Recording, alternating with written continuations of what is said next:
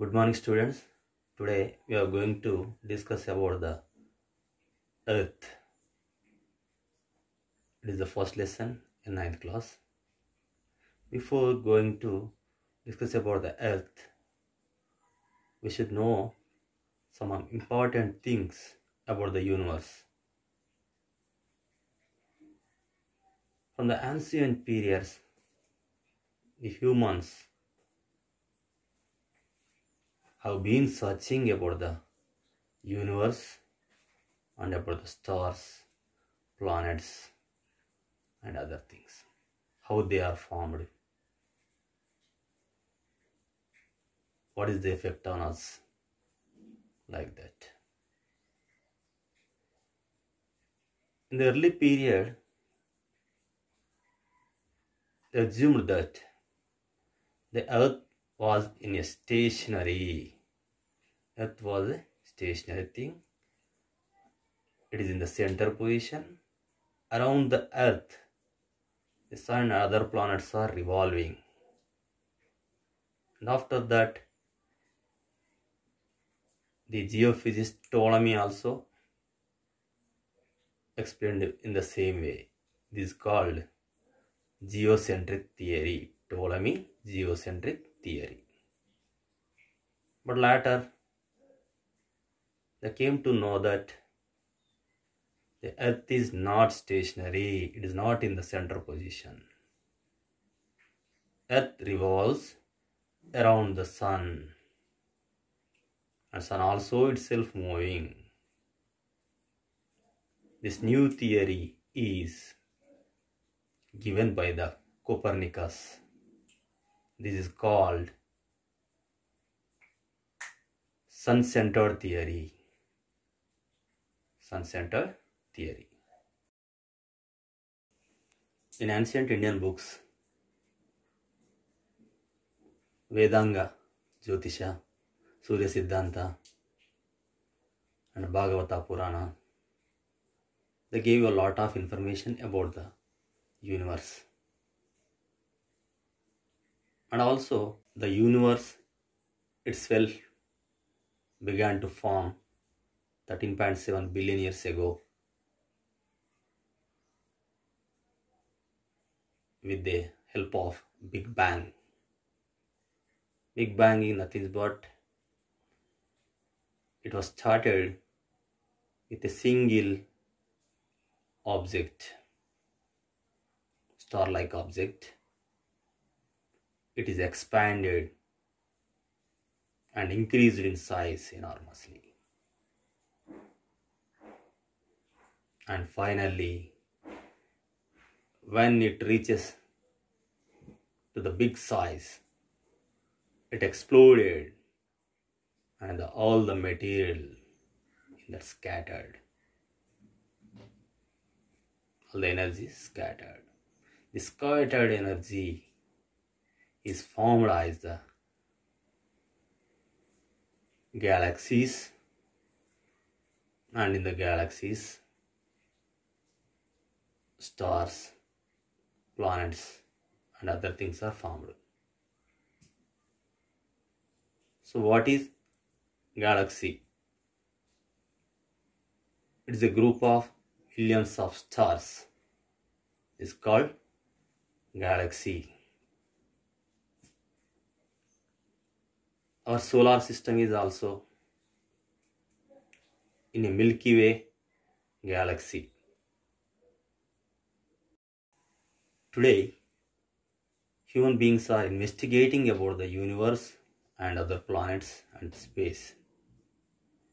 They are sending space shuttles to the other planets. And also, the man landed and the moon also. They are investigating all the features, how it was formed, and what are the character features are there. Like that. The earth is revolving on its own axis around the sun in a definite way path. It is also called orbit Orbit is nothing but it's a path around the sun. Here, the earth is moving around the sun on its own axis in a definite orbit. Look at these pictures. There are three pictures are given. First one is the circular shape. Second one elongated oval path. The third one scaled oval path. Which is the correct orbit? The third one is the correct orbit. It is nearly circular path. For example, sun is in the middle and 1.4 centimeters to one side and 1.5 centimeters to the other side. It's called scaled oval path. Here, the distance from the sun to the path. The farthest distance from the sun is 152 million kilometers. The closest is 147 million kilometers. And the earth is revolving around the sun at the speed of 1 lakhs 7900 kilometers per hour.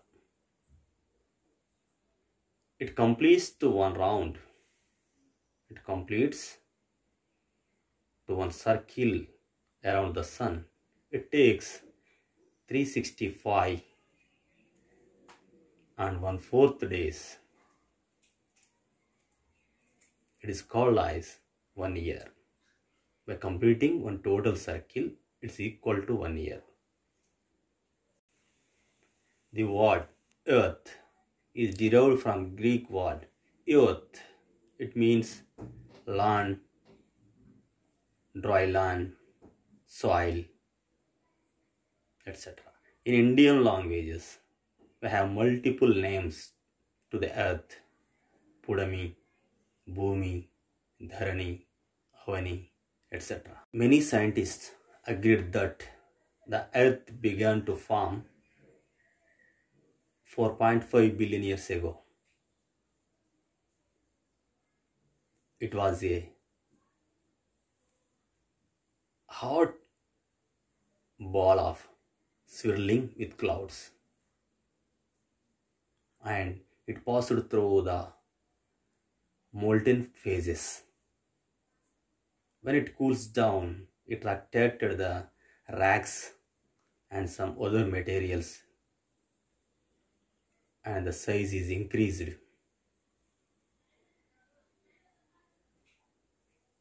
When the racks and other material are molten, the solid and the heavier parts of these materials